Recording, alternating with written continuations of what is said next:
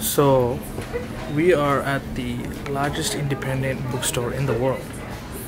That's kind of crazy. They have about like, more than 1.5 million books here. What is it called? Powell's.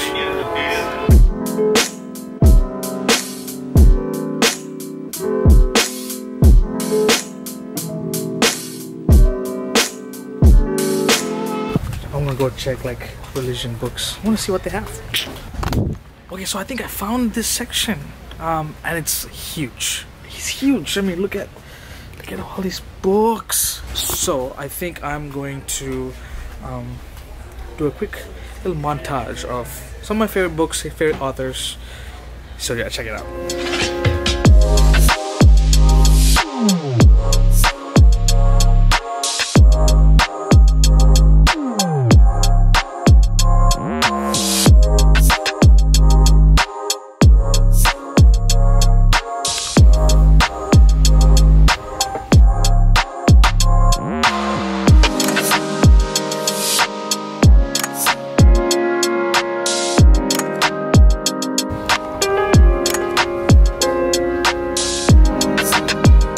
We're on a quest to find Adventist things. Let's do this and then we'll go.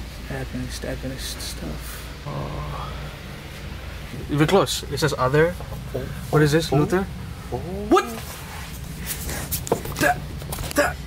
Seventh day Adventism. Okay, that's cool. What is in there? Why What do is we in only there? have like five bucks? Oh, there we found it. Ellen G. White. Excellent. She made it. We made it. We made it. We made it. We made it, man. We Auntie Egg White. Let's go. So, so for those of you who don't know Ellen White, she is. I think she's like the most. I think she's the most translated female author of all time. I think. Oh, I think that's true. If you're if you're Adventist, you're watching this, verify that. Please, I don't know, add a comment below. Just let me know if I'm like absolutely right or like dead wrong. And also comment if you felt offended that he called her Auntie Egg White. That's true. That's true. She's like she's like a big deal in our denomination. You know, got the 80 and 88 stuff. Okay, if you don't know about that, stuff went down. Stuff went down in 80 and 88 in our denomination. Uh, what else? Seventh Day Adventists believe classic for sure. That's it. That's all we got, but it's okay. It's all right. It's all right. Start somewhere. You gotta you gotta start somewhere, right? Okay, I think uh, we found uh, stuff. So let's just uh, go.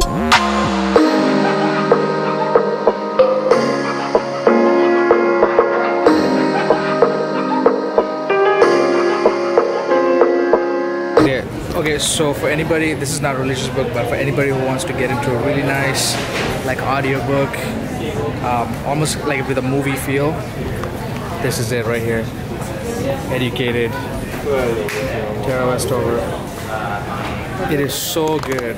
It's just a great memoir that talks about the intersections between religion and culture and politics and just real life stuff. It's just amazing, amazing, amazing stuff. Also, you know, please let me know if there's any books that you want me to read or recommendations of any books because I'm totally for that stuff. So anything that has um, influenced you, love to love to hear about that. Love to hear about that. This is Kevin at Cross Culture Christian, helping you bridge the gap between your life and the good life. Take care and God bless you.